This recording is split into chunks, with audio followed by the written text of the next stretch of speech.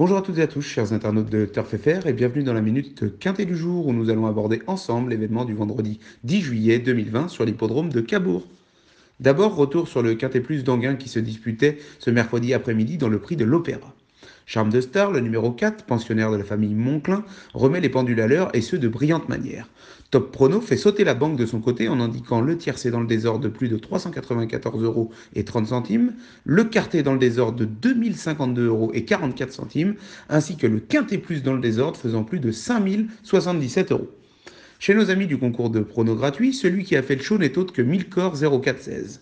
Avec un tiercé écarté accompagné des bonnes bases, il marque plus de 1000 points au classement général. Le podium est complété par Ascoli 45 et Petit 1561 MT, et nous les félicitons tous les trois pour cette magnifique performance du jour. Allez, abordons maintenant le tiercé écarté quinté plus du vendredi 10 juillet 2020.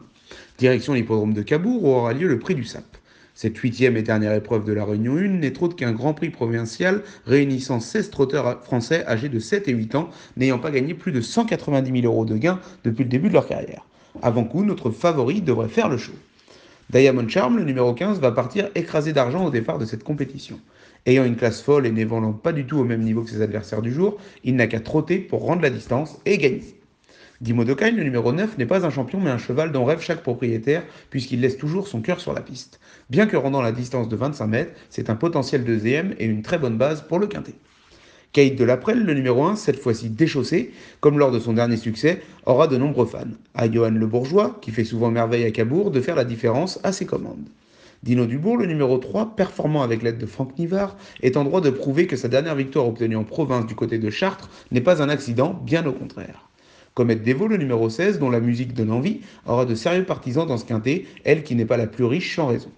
Dynamique Charme, le numéro 5, mérite crédit et peut pimenter les rapports s'il est tout simplement bien luné.